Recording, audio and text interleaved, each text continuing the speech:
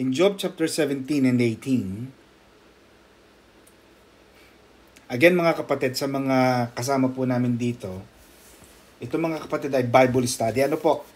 hindi po ito hindi po ito Sunday service and I would like to have a proper distinction of what a Bible study is in in contrast with our Sunday service. So, ang Bible study kasi medyo himay na himay, Sister Presley.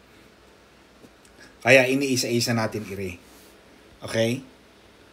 In Job chapter 17, nagrereklamo na si Job sa Panginoon, sa langit, and sa tao.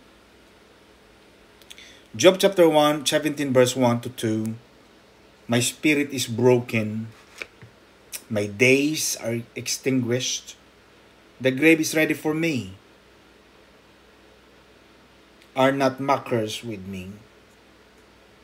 And does not my eyes dwell on their provocation? So talagang nararamdaman na ni Job na malapit na siya. At sinasabi niya na talagang yung kanyang mga kaibigan, mga kapatid, ay walang awa. Amen? But you know mga kapatid, tayo magdiretsahan, ano? Total, si Sister, Sister Cynthia naman nagbabayad nito. Okay?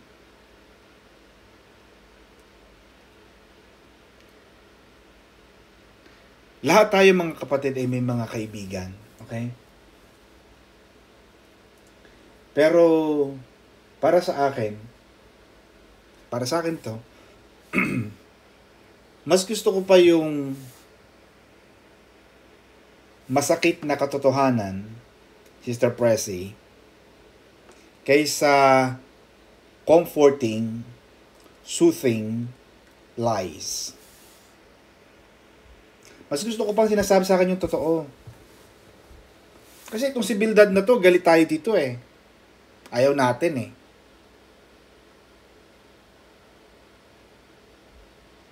Pero minsan, mas maganda, mas gusto ko pa yung totoo.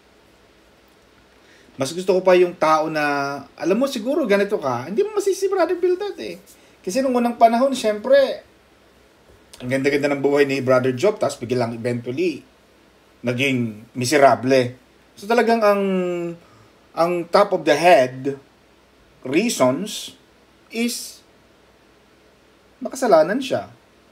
At makikita natin, very pervasive all over the book of Job na talagang ang findings ng mga kaibigan ni ni Job, mga kapatid, dahil mas marami kang kasalanan, kaya ganyan ang nangyayari sa'yo. So the more sin, more punishments. Less sin, less punishment. Parang ganun yung findings eh. At mga kapatid, let's be honest. Some people, may mga tao na hindi hindi magiging masaya, hindi magiging kumpleto ang araw hanggat hindi nila makitang durug na durug tayo. O durug na durug ka. O nasira niya ang araw mo. May mga taong gano'n. Kaya mag-iingat. Be careful with the, the people we trust. Be careful with the people you trust. Not everyone who smiles at you, not everyone who likes on your Facebook uh, post is your friend. Hindi lahat yan ay mga kaibigan. Kaya, pero, mamaya di-discuss ko bakit gusto ko rin si Brother Bildad in, in some way. But be careful. Mag-ingat tayo mga kapatid sa mga kaibigan natin. Be careful sa mga sinasabi nating mga kaibigan. Be careful of who you pick as a friend. Yung iba dyan, kunwa-kunwari, sige, share mo. Kaya ako, pagka tayo ay may mga panalangin sa ating mga kapatid na talagang hindi pa ako binibigyan ng permission to share, hindi ko sinishare sa iba, sa prayer warrior lang. And I always make it a point to, to, to make a disclaimer sa ating mga prayer warrior, do not ever disclose ang buhay ng ating mga kapatid ay hindi chismisan, hindi ito full of marites. Eh, pastor, good naman eh, kahit na huwag kang maging good sa marites. May mga good sa marites eh. Sister Alice. Sabi ni Brother Gyrex. Mga good sa marites. Kahit na. Pero, huwag nating maging parang, kasi masarap mag-chismis-chismis eh. Nakalagay sa Bible yan. Ang chismis parang pokyo, parang pulot pokyuta na mas napakatamis, masarap pakinggan. But, some quote-unquote friends will pretend to listen to you, to your story, but are only, just like Bildad, si Bildad kasi nandoon as a friend eh. Di ba? Parang noong una, parang hmm, talaga nangyari sa'yo. Siguro nag-travel pa siya. Siguro nag-text siya ng LRT o nag-text siya ng taxi para makarating kay Job. Mr. Presi. But just like Bildad, some people who pretend to be listening to you are just merely gathering information to judge you.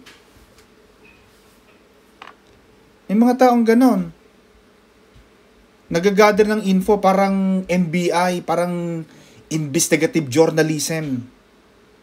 Anyari, anyari, anyari. Tapos biglang, bu, pabanatan kita. Hindi ganun eh. Kaya minsan nakakatakot. Kaya mga kapatid, yung mga ipinapanalangin ninyo, yan ay ibinadinadala ko sa mga prayer warrior natin. At lagi kong sinasabi sa kanila, pananagutan ng mga prayer warrior, pag yan ay nakakalabas, isang malaking pananagutan sa Diyos, na maging simula tayo ng chismis. Huwag nawa mga kapatid. Huwag nating gawing, kasi minsan may mga private matters. Eh. Kaya minsan, may mga iglesia, hindi makapag-share. Kasi pagka isinare mo ang mga problema mo, magiging tawanan, magiging kahihiyan, magiging humiliation, magiging source of gossips. At tandaan natin mga kapatid, Huwag mong kalimutan ito mga kapatid. Ang mga taong naiinggit, ang mga tao, pag lagi kang pag-uusapan.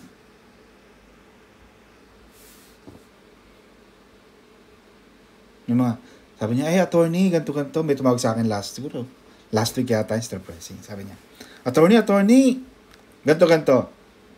Sabi ko, look, ano ba, um, parang sinasabi niya na, Attorney, uh, naniniwala ako sa iyo, pero alam mo ba na may mga tao ring hindi? Sabi ko, oo, alam ko. I know that people talk about me. I know that people talk behind my back. But I just don't care. I just don't I just don't care. Because pag lahat ng mga problema, mga kapatid, lahat ng mga paninira, lahat ng mga usap, issues ng mga tao, pinakinggan mo ng pinakinggan, wala kang maaabot sa buhay. Wala kang maa-achieve sa buhay. Hindi ka mag hindi hindi ka makakarating sa iyong paroroonan. Ang sabi ng Panginoon sa Biblia, ang sino mang isang magsasakay, hindi kailan ang sino mang magsasaka nagsasaka, ay hindi lumilingon palagi sa likod. Sabi ng Biblia, sabi ni St. Matthew. Ang isang nagsasaka, lagi nakatingin sa pupuntahan niya. Hindi laging lumilingon sa likod, hindi palaging tinitingnan kung sino nakik- naninira sa kanila. Just like Brother Job. Kaya nagkangganto-ganto na lang si Brother Job, siguro. Kasi, pinansin niya eh. Papansin mo si Jesus, minsan sinisiraan siya ng mga iskriba, ng mga pariseyo, isang eh, yung si Jesus na yan, satanas yan. Yang si Jesus na yan, kampo niya ng demonyo. Did God, did Jesus mind them? Umalis na lang si Jesus. Sa Nazareth, hindi siya pinakinggan. Tinatawanan siya. Hmm. Ang sabi, anak lang yan ni Maria. Anak lang yan ng panday na si Jose. Kapitbahay lang natin yan. Jesus left. One of the things that I also learned, mga kapatid ko, always stay in a place where you are celebrated. Doon ka mamalagi sa isang lugar kung saan tanggap ka. Yung tanggap ka. Magpakatotoo ka. Kaya, si Jesus ganun eh, he left Nazareth, he went to Capernaum, he went to Galilee, he didn't perform. Jesus was a God. He is a God. He is the God. But he did not perform so much miracles in Nazareth.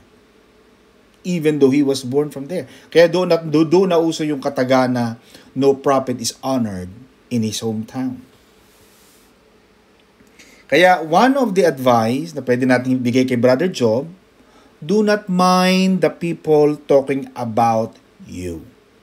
Brother Job? Amen mga kapatid? Just keep doing what you think is right.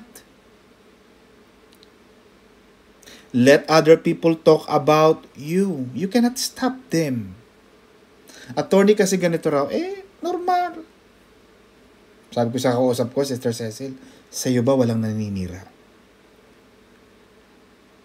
Sana all. Tanggap ko. Maraming naninira. Tanggapin mo yun. Isang bahagi ng buhay na talagang may marites Okay? Pag natanggap mo yon, luluag ang pakiramdam mo, Sister Says. Kasi talagang may maninira. Huwag mo nang hanapin sa Kilburn, Cricklewood, or Golders Green o sa Bus 98. Dahil iba ang sasakyan niyan, Sister, Sister, Sister Christy. Sasakyan ng 16 o 32. Hindi mo kailanman mahuhuli ang mga good Samaritans.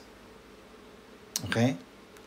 So, Let them laugh at you. Let them bash you.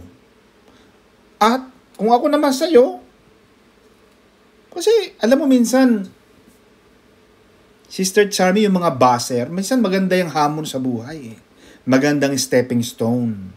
May nakusap kong client last week. Sabi niya, Tony, alam mo yung ano, yung ex ko, iniwanan ako kasi wala akong trabaho. Iniwanan daw siya. Pero alam mo, sa, natutuwa ko niya, sabi niya, yung asa yung ex daw niya parang seaman, mga 1990s ganyan.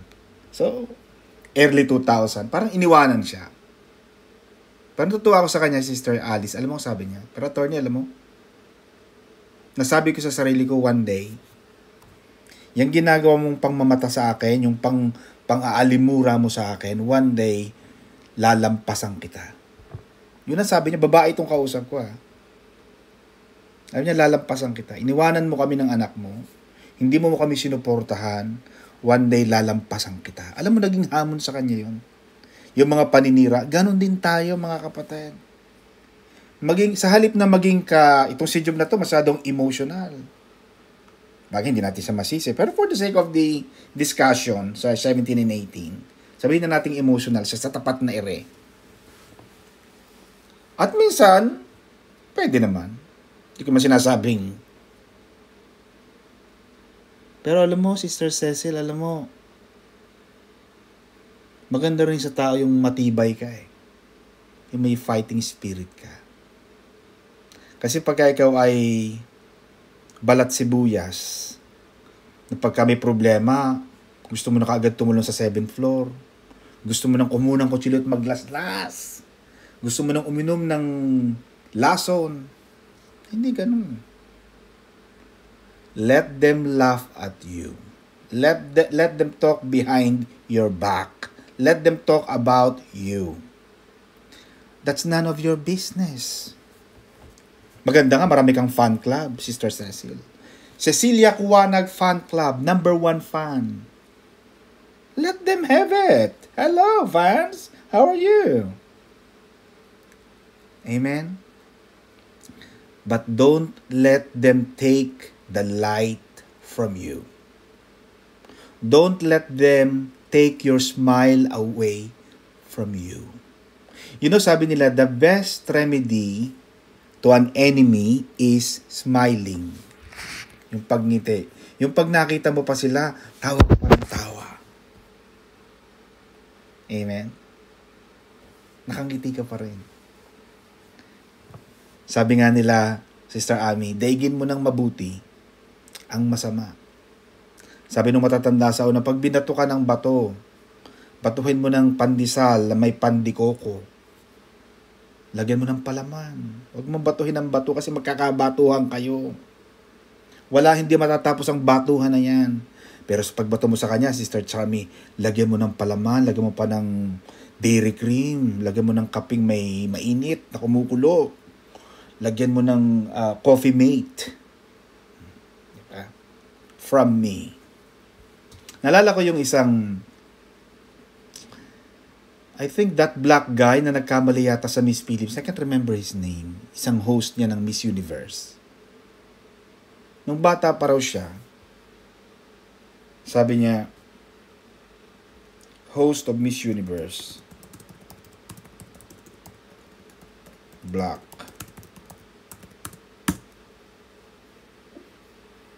Si Steve yata yung pangalan, Pastor. Ah, Steve. Oh, Steve nga. Pastor Johnny. Hindi ko ma... Steve, Steve something. Tingnan natin Pastor Jay sa Google. Steve, no. Yeah, Steve Harvey. Stephen Harvey. Stephen Harvey, nag-host siya sa... Lagi siyang host sa mga, mga Miss Universe. Siya yung may team na, may team na lalaki na may bigote. Sabi niya, Sister Charmy, mo, nung nag-aaral pa daw siya, sabi sa kanyang teacher niya, you know what, Steve? You're not gonna... You, you, you came from a poor background. Sabi niya, galing ka sa Harlem Street. Kasi mga taga Harlem, para mga tondo yan, mga, mga, mga slum area. Wala ka namang kilalang tao sa namang politiko. Wala ka namang kilalang mga mayayaman. Wala kang alam. Kung magsalita ka pa, bulol. You're not gonna do anything. You're not gonna succeed. Basta pag nag-exam daw siya, Sister Cecil, lagi silang C. Letter C. Sa Amerika kasi, American Education System, ang, ang grading A, B, C. So pag A, mataas. Pag B, medyo okay. Pag C, mababa o fail. Lagi siyang C. Ang kapatid, wag kayo mainip ha. Sabado naman ngayon. Sabado ngayon, no? Okay, sabi niya, okay. Tinandaan daw niya yon ni Stephen Harvey. Tinandaan niya yon Sister Cecil, to the point na nagsikap siya. Hanggang sa kinuha siya ng mga, nung lumaki na siya, talagang nando na siya sa, naging ano na siya, naging host na siya ng mga TV show. Naging malaking tao itong si Stephen Harvey. Nakita mo siyang host ng Miss Universe. Napakagaling na host. Alam mo, nung naging TV host daw siya, nung since 19, I think it was 1990, every year, Sister Cecil, alam mo ito ginagawa niya, every, makinig mabuti. Ang ganda na story niya eh. Every year, Sister Cecil, since 1990 na nagsi, nagsimula siya sa sa hosting, yung pag-host ng mga Miss Universe, ng mga ng mga ng mga TV shows. Every year, Sister Cecil, bumibili siya ng brand new plasma TV brand new TV. Alam mo kung kanino binibigay, Sister Says? Doon sa teacher niya na nagsabi sa kanya that you are nothing. You are, you are, you are no good. Gusto ro niyong ipakita sa sister niya, you know what, ma'am? I want you to see me on the television every time I go online, live, streaming, on the international stage. I want you to see me. Because what you told me that I am not gonna be somebody is now me. Is now made in the international stage. Ang ganda. Gamitin nyo yung mga naninira sa inyo. Use those negativity as a challenge, as a, as a stepping stone for you to succeed. Kailangan yan. Kailangan talaga si Chi ang mga kontrabida sa isang pelikula. Pag wala si Ram- pag wala si Paquito Diaz, pag wala si Panchito against Dolphy, hindi maganda si Dolphy. Kailangan nandoon si Panchito. Yung mga yung mga 1980s, 1990s, alam niyo 'yan. Mhm. Pag wala sina pag wala sina Nova Villa, sa home along the Riles, hindi maganda. Kailangan lagi nandun si Paquito Diaz, si Romy Diaz. Amen mga kapatid. Para si Fernando po Jr., punong-puno ng ganda. Gamitin niyo yung mga kontrabida ng buhay. Maganda yan. Kailangan natin yan. Dahil doon sa mga negativity na yon, doon ipapakita ng Diyos ang kanyang katapatan, ang kanyang pag-ibig, ang kanyang kapangyarihan sa inyo. Kung wala yung mga challenges na yan sa buhay, walang gagamitin ng Diyos. Walang magagamit ang Panginoon. Kaya like kong sinasabi sa inyo mga kapatid, sabi mo sa Panginoon, Panginoon Lord, gusto kong maging carrier ng iyong banner. Gusto kong makita ng buong mundo na ako ay pinagpala mo. Dahil ako talaga wala. Ako talaga wala akong pinag-aralan. Wala akong kilala. Wala akong alam. Pero doon sa aking kakulangan, doon sa aking kahinaan, nandoon ang pagpupuno ng Diyos. Amen? Now, ano pa mga kapatid? Jump na tayo dito kay Brother Job. Verse 10 to 16. My days are past, my purposes are broken off. Tanggap na niya eh, na mamamatay na siya. Pero gusto niya kasi, madali siyang mamatay. Hmm. Pero ngayon kasi nararamdaman niya, Sister Char- Charmy na, un- kasi, mahirap kasi yung, yung dying gradually. Maraming mga namamatay daw, according to research. Ang gusto nila, mamatay sila quickly.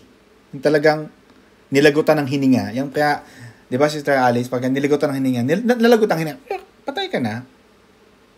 Pero mahirap yung yung talagang na, yung masakit na masakit. Tapos alam mong mamamatay ka na, tapos hindi ka agad namamatay. Mahirap pala yun. Ito nangyari kay Brother Job. My days are past and my purposes are broken off. You see mga kapatid,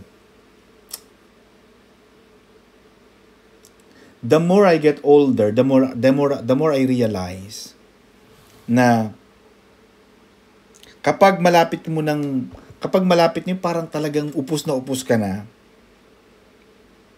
yung alam mong walang-wala na nandoon ang Diyos. Kanina during my my my, my devotion I was reading the book of is that Second Chronicles? I think in the book of Kings. When the Lord said to Samuel, How long will you mourn for Saul? Kasi umiyak si, si Samuel. Prophet Samuel was crying. But God said to Samuel, How long will you cry or mourn for Saul? Seeing I have rejected him from reigning over Israel. Fill your horn with oil and go. I am sending you to Jesse the Bethlehemite, for I have provided myself a king. Notice, Sister Alice, hindi mo rin masisi si Brother Samuel eh. Bakit? Kasi Samuel's life was focused on training Saul Matagal niyang tinrain si Saul para maging hari, para maging mabango siya sa Panginoon. Talagang tinrain niya. And just for God to reject Saul was or amounts to rejecting the effort made by Prophet Samuel. Parang binali, parang banili, binaliwala mo rin yung trabaho ko. Buong buhay ko ang ginawa ko dyan. Ibinigay ko dyan kasi first king ito eh. Do not forget, Saul was the first king. So ibinigay talagang lahat ni Saul ang kanyang magagawa para sa haring ito. And just forgot to just dismiss Saul.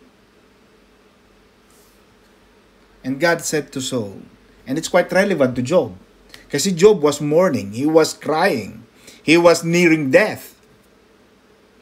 And today, I remember God was telling Samuel, How long will you cry?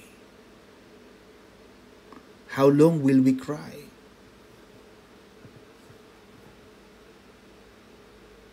You see, this is the reason why these are the giants of faith. God said to Saul, or to Samuel rather, fill your horn with oil. Nung inalis si Sister Cecil ang Panginoon si Saul, on the same verse, God said, I have provided myself with a king. When God closes one door, He is going to open, and in fact, God sees in advance that this door will close for you. So do not ever question God if God closes an opportunity for you. Do not ever question God if God removes a person away or out of your life.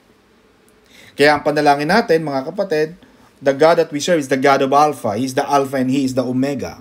He is the beginning and He is the God of the end. If God, if we believe that God is the God of the beginning, you should also believe that He is the God of the end. Not just at the beginning. Kasi madaling maniwala sa Panginoon, ay, Panginoon, magandang pasimula eh. Yeah, but do you also trust God when God said stop? When God put a stop, don't go. Amen mga kapatid? When God removed Saul, God said to Samuel, you know what? Fill your horn with oil. Yung horn, Sister Cecil, it pag binasa mo ang book of Revelation, it represents power. There are many um, there are many verses in the Bible that that that reflects that the horn is indicates power. Sabi ng Panginoon, fill your horn with oil and go to Bethlehem to the to the to the to the clan to the tribe of Jesse because I have provided. You see, when God removed Saul, God has already provided. When we are at the end, when we are running out empty, God will provide. Just like Job. Kaya itong si Job na to na sinasabi niya na he thought that it was the end of his life, but God is going to refill you. Always say that mga kapatid sa mga sarili natin. Na kapag tapos na ang buhay, akala mong tapos na, nandoon ang Diyos. Panginoon, malapit na. But, ah, Panginoon, nandito ka. Alam ko, Panginoon, na may gagawin ka sa akin. Just like that woman. Yung babaeng Shunammite. Prophet said, What are you doing? The woman, the Shunammite woman said, Can you not see? I am now baking the last flour, flour, to make a bread so that we can eat and die. That's the last point. Ang sabi ng Shunammite woman, Sister Alice, ito na yung huling subo namin, mamamatay na kami. Sabi ng prophet, yeah, that's good. Do it. But before you eat, give it to me first. Ganun ang Panginoon. Illogical. Irrational. Pero ang sabi ng Panginoon, Sister Cecil, your ways are not my ways. Just as the heavens is far from the earth, the north is far to the south, and the east is far to the west. That is my ways. That's that's how good God is. Maraming paraan ng Diyos.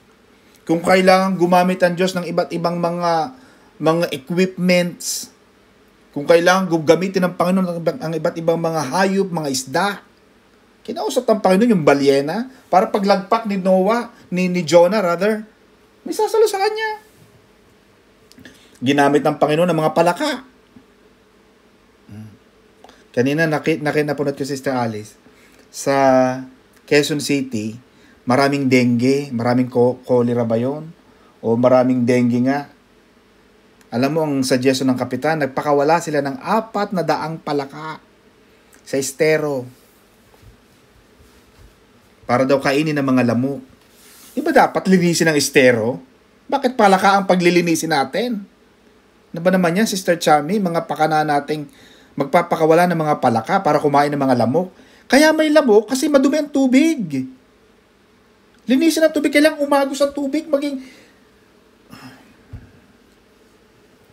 Yung mga... Yung mga... Yung mga lamok, nangingitlog yan dahil ang tubig hindi dumad, hindi sa flowing water. Hmm. Nalala ko ng bata tayo, Sister Cecil, di ba? Yung pakain natin sa aquarium, yung anak, ano nga anak ng lamok? Pastor Jay? Yung maliit na anak ng lamok, di ba? Ah, larvae. Oo nga, pero sa Tagalog, kapatid. Sa, ano ta, sino may alam na Tagalog na yung anak ng lamok? Oh, kiti-kiti, kiti-kiti. Ayan, kitikite, brother Matt, yung kitikite. Di ba? Noong unang panahon pagka sa school natin may aquarium, sasabihin ng teacher, oh, maghanap kayo ng kitikite. Nako, papakain namin yan. Lalagay na, pag nakalagay sa plastic, tapos lalagay namin sa mga aquarium, kinakain ng mga goldfish. Kain ng kain. Itong sa, sa Makati, ang ganda ng ano, yung mga palaka. Pinakawalan, apat na daan, limang daan, anim na daan, para daw kumain ng mga lamok. Maganda rin naman. Pero base sa mga research ng, Uni- ng University of the Philippines, palpak ang mga palaka. Kasi daw sa dami namang lamok, Sister uh, Cecil, hindi naman kayang kainin ng mga palaka ang lahat ng lamok na naglipana. Mga pa, mga paka na mga mga mga mga utak talangka mga kapatid. Pero kung kailangan gamitin ng Diyos ang palaka, bakit hindi? Ginamit ang Panginoon ng palaka. Ganon kagaling ang Diyos. Hindi mo pwedeng takutin ang Diyos. Panginoon, walang-wala na. Huling subo na ito. Hindi. The Bible said that the Shunammite woman, hindi siya naubusan ng, ng habang, sabi ng propeta, pag ginawa mo yan, sabi ng propeta, pag ako munang pinakain mo, unahin mo muna ako, mabubuhay ka ng marami pang taon. Nabuhay ang babaeng yon hanggang sa nagkaroon uli, bumalik na uli ang kasaganaan ng bayan. Hindi siya inubusan ng Panginoon. The, up to the last drop of oil, hindi siya pinabayaan ng Panginoon. Kaya mahalaga sa isang tao na nagtitiwala ka sa Diyos. Yung mga nakikita mong mga kakulangan, kawalan, yung nakikita mo mga sakit at karamdaman, nandyan ang pagliligtas ng Panginoon. You will see the salvation, the healing of God kapag nandyan ka sa mga ganyang problema. Kaya pag dumating tayo sa langit, Sister Cecil, pwede natin kausapin si Brother Job. Dali natin ang Job 17 and 18. Pakita natin sa kanya. We jump to Job 18, mga kapatid. Job 18, verse 11 to 16. It devours medyo nagkaroon siguro siya ng sakit sa balat. Yun nga. Ibig sabihin, marami sa mga galis, pigsa, alipunga, buni, siguro kung ano-ano pa. Kaya itong si Bildad, sabi niya, ibig sabihin, marami kang kasalanan. Kasi ang dami mong sakit. Binibilang niya. Siguro pinapatas ang kita niyo ang kilikili mo. Naku, may pigsa. Naku yan, may ilipungan ka, may acne, may tagyawat, lahat na lang ng sakit. Di ba? Kasi ang thinking ng mga tao nung unang panahon, ang iniisip nila, pag marami kang kasalanan, maraming kaparusahan, buti nga sa'yo. Amen ba mga kapatid? But, alam natin na itong si Bildad na ito ay naging cruel, naging marahas, naging magaspang ang pakikitungo at mali ang kanyang statement against Job. Alam natin yon. Job chapter 1 verse 1 said that he, Job, was blameless and upright and one who feared God and shunned evil. Alam natin in Job chapter 1 verse 1 na si Job ay isang matuwid na tao. Kaya mali ang kanyang sinasabi kay Job. Lastly mga kapatid, in the last verse of 18, this is the place of him who does not know God. Alam niyo mga kapatid, ito ang gustong gawin ng Panginoon sa atin. Ito nangyayari kay Job, Sister Cecil. God wants us kasi ang pinakagusto ng Panginoon, at tayo mga magulang, ganyan din siguro tayo. Tayo mga magulang, pinaka gusto natin sa ating mga anak, yung magtagumpay sa buhay. Pumili ng tamang pagpili. Ganon din ang Diyos. God wants us to do what He did for Job. Kasi ang ginawa ng Panginoon kay Job, talagang sinubukan siya eh. At doon sa mga pagsubok na yon, naniwala ang Panginoon na yung pananampalataya, yung pananalig, yung paniniwala ni Job will allow Job to surpass, to go beyond, to go above what's going on to the life of Job, but his faith, his unwavering faith to God will go above what Job feels. Kung ano mang nararamdaman niya, alam ng Panginoon na yung anak kong itong si Job, hindi ito bibitaw sa kanyang pananampalataya. Mananatili ang kanyang pananampalataya, mananatili ang kanyang paniniwala na ako ay mabuting Diyos. At ganoon din ang ginagawa ng Panginoon sa atin mga kapatid. God wants us to pass the test of life. It's only a test. Pag may nararanasan kang problema, Sister Charmy, lagi mo sabihin, ilagay mo sa iyong sinusulat, This too shall pass. Lalampas ulit. Ma- malakas man ang bagyo, malakas man ang ulan, may mga nararamdaman ka, may mga problema ka, lilipas din ito. At sa paglipas na ito, ng mga problema, ng mga nararanasan ko, makikita ng Panginoon na patuloy akong nananalig sa Kanya. Na patuloy akong naniniwala na ang Diyos na pinaglilingkuran ko ay isang mabuting Diyos. Ganon ang ginagawa ng Panginoon kay Job. Mahirap. Alam natin, nagbabasa tayo eh, ng buhay niya eh. Hindi alam ni Job at this point, Sister Charmy, na sinusubukan siya. No, he doesn't know it. Until we read the latter part. At ganon din sa buhay natin. We are the Job. We are the current Job. May mga pagsubok tayo sa buhay, pero pagsubok lang yan. Test lang yan. You need to pass the test. At ang naging sandata ni Job, mga kapatid, ay ang kanyang patuloy na pananalig, paniniwala sa Panginoon. Amen? So mga kapatid, ganun din tayo. May nararamdaman tayo, may mga pinagdadaanan tayo.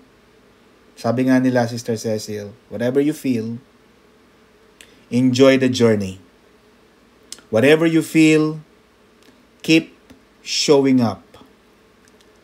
Kahit masama ang pakiramdam, may nararamdaman ka, don't show the world that you are sad, that you are lonely.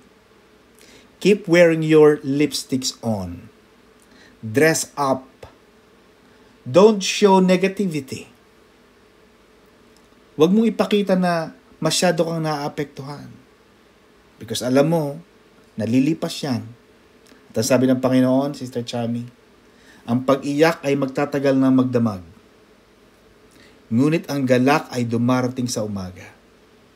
You may be passing through the crying stage, but always believe that joy, happiness, gladness, answered prayer will come in the morning. Amen? Palakpakan natin ang Lord mga kapatid, and God bless you all. Pastor Jay, salamat po.